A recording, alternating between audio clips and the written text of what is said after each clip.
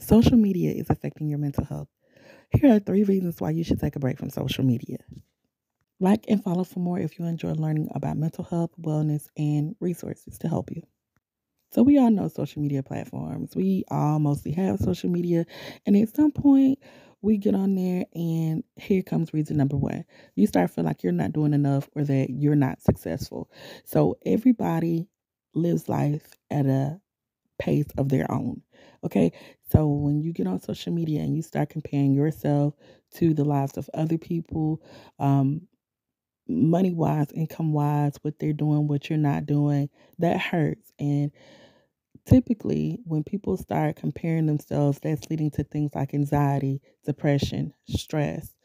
So remember, people do things at their own pace, and you're not in a race with anybody. Number two, you compare your lifestyle, yourself, dating life, money, body, houses, cars, etc. to others. So we all know we get on social media and some of us are overweight, some of us are underweight, some of us have body enhancements and so much more. You get on, you see the perfect relationship and you've been struggling in your dating life. You've been having a hard time dating, you've been broke, and people get on flashing money, you know, we start to compare ourselves and like, man, I wish I had their life, or man, why can't things just go right in my life? So that's impacting how you feel about yourself, your image, um, and can again lead to things like depression, stress, anxiety, because we feel like we're not up to par. We may feel like, hey, my body doesn't look good. I need to maybe do this, or I maybe need to do that, or you know, maybe I need to not eat, you know, may have eating disorders now. So it's a lot. And especially with shaming too, because some people now they can't afford rent on their own and they're moving back in with their parents. And some people are making fun of them saying, Oh, you live with your parents. And it's just a feeling that a lot of people do not like. You know, it's a feeling of shame. We're feeling embarrassed. We're feeling hurt. Like, hey, life didn't go as planned. I can't afford life. I can't afford anything. I barely have enough money to put gas in the car. I barely have enough money to put food on the table.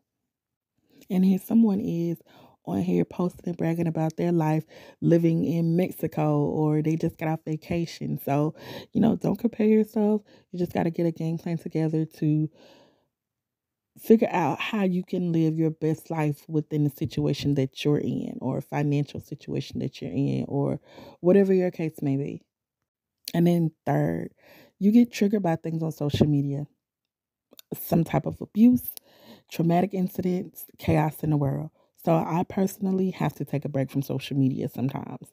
One reason is every time I get on and I see some type of uh, school shooting, I just log off because it's just so hurtful to see.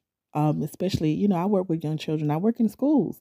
So when I get on and I see senseless shootings and I see senseless um things just continuously going on in the world, it just saddens me. And I'm like, you know what? I need to take a break because that can be Monday, and by the end of the week, something else traumatic has happened. So, if you are like me, sometimes you just need to take a break from everything that's going on. You get on, you see people talking about their traumatic incidents, and you may have had that same or similar incident, and now that triggers you.